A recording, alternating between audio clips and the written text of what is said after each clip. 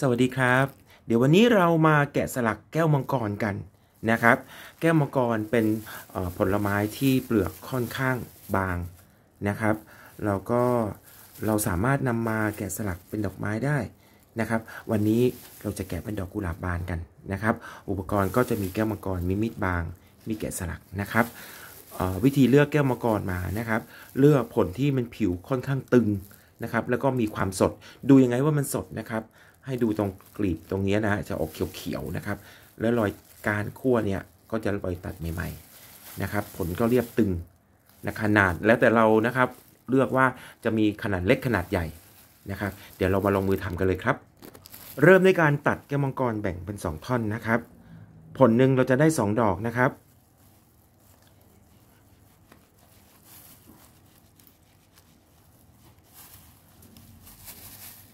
นี้นะครับ เราจะได้ 2 ดอก เก็บไว้ก่อนครับ คลุมพลาสติกเอาไว้ จากนั้นเราก็มาปอกเปลือกครับ โดย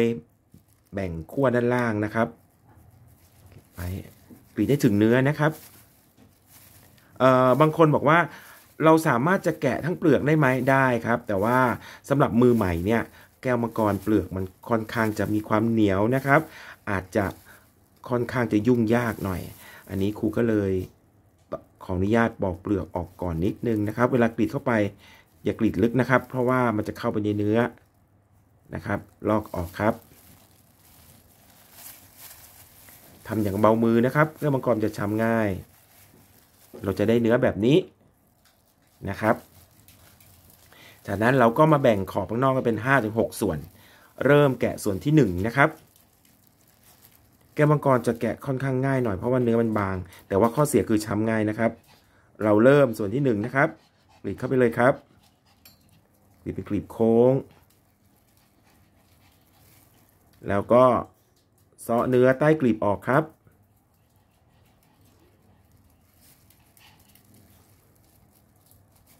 จับแต่เพียงเบามือนะครับ ออกมาแล้วกรีบที่ 1 ครับกรีบที่ 2 สอดปลายมีดเข้าไปใต้กลีบที่ 1 ครึ่งหนึ่งนะครับ แล้วก็กรีดเป็นกลีบโค้งเหมือนเดิม ขอบกลีบบางๆนะครับ กดด้ามมีดลงต่ำนิดนึง แล้วก็เซาะเนื้อใต้แนวกลีบออกครับ ไม่ต้องออกเยอะนะครับ พยายามรักษาเนื้อของแก้วมังกรเอาไว้ให้เยอะที่สุด แต่ถ้าเกิดว่าเอาออกน้อยเกินไปอย่างเงี้ยนะครับ เราจะไม่ค่อยเห็นมิติของความกว้างของกลีบนะครับ ทำให้กลีบมันดูแน่นไป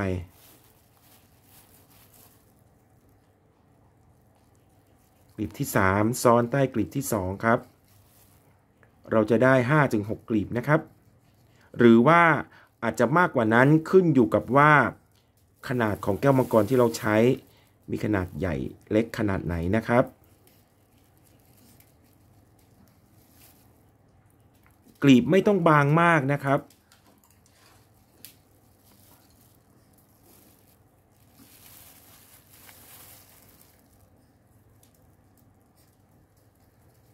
คลิปต่อไป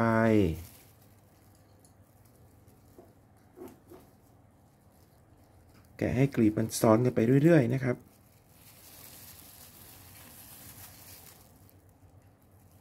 กลีบสุดท้ายก็จะซ้อนใต้กลีบแรก ดันออกนิดนึงแล้วก็เซาะเนื้อใต้แนวกลีบออกเราจะได้กลีบดอกกลีบแรกไอ้ชั้นแรกเป็นแบบนี้นะครับ ชั้นที่ 2 ก็ทำสับหว่างชั้นแรก และกลีบให้มันซ้อนกันไปเรื่อย ๆ นะครับ ชั้นนี้พอจะซ้อเรากดด้ามมีดลงต่ำนิดนึง แล้วก็ดันแก้วมังกรออกหน่อยนึงนะครับ เพื่อเราจะได้องศาในการซ้อกลีบชั้นต่อไปที่สวยเห็นไหมครับ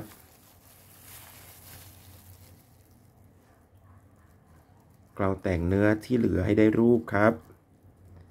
ทำอย่างเบามือนะครับ อย่างที่ครูบอกว่าแก้วมังกรเป็นผลไม้ที่เนื้อมีความนิ่มช้ำง่ายนะครับ ตอนกรีดตั้งมีดตรงคว้านไปตามความโค้งของรูปทรงนะครับ แต่ตอนซ้อกดด้ามมีดลงต่ำหน่อยนะครับ เพื่อให้ได้องศาที่พอดี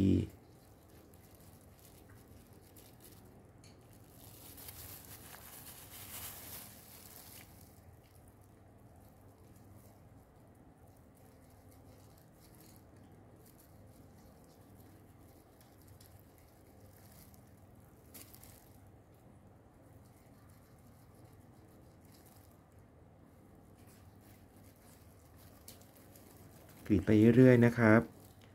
ระวังปลายมีดจะไปกรีดเอากรีดชั้นนอกหลุดออกมานะครับ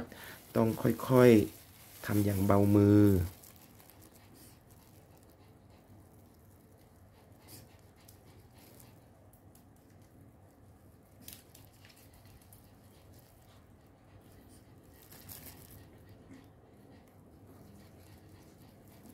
ชั้นในนะครับ เรากดด้ามมีดลงต่ำให้เยอะนิดนึง พื่อให้ได้ฐานเกสรที่กว้าง แต่ว่าปลายส่วนที่เหลือเนี่ยมีขนาดเล็กลงแคบลงนะครับ แต่ตอนกรีดเนี่ยเรากรีดตั้งมีดขึ้นมาให้ตั้งฉาก แล้วตอนซ้อกดด้ามมีดลงต่ำนะครับ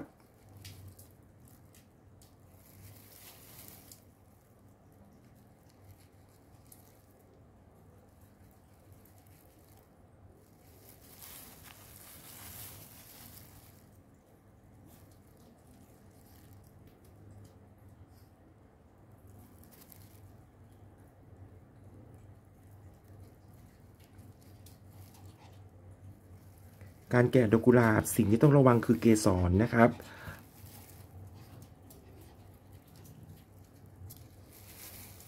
ก็คือเกสรส่วนมากที่ที่ครูเจอนะฮะเกสรจะค่อนข้างสูงขึ้นมา หรืออแกะไม่หมดนะครับ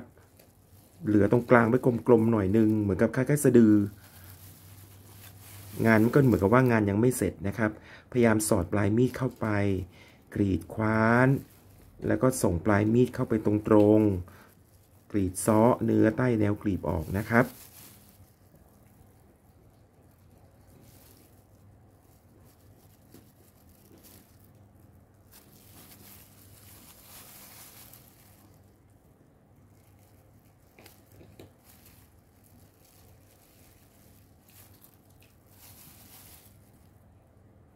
ค่อยๆ ส่งปลายมีดเข้าไปกรีดคว้าน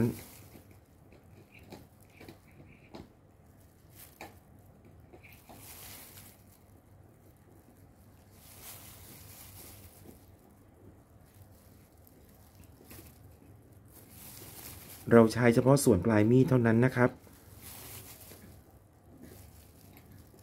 จึงจะได้เกสรที่ต่ำลึกลงไป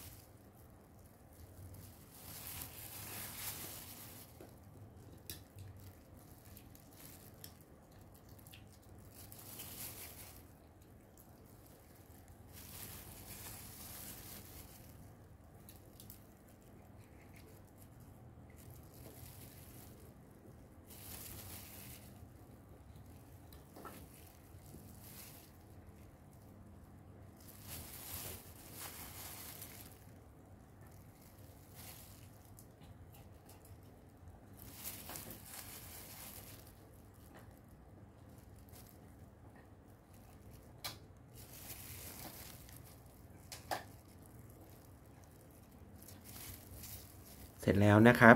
ดอกกุหลาบ จากแก้วมังกร เสร็จแล้วเราก็จะได้ดอกกุหลาบแบบนี้นะครับไว้สำหรับแต่งจานผลไม้ ลองไปฝึกทำดูนะครับ เดี๋ยวเจอกันใหม่คลิปหน้า สวัสดีครับ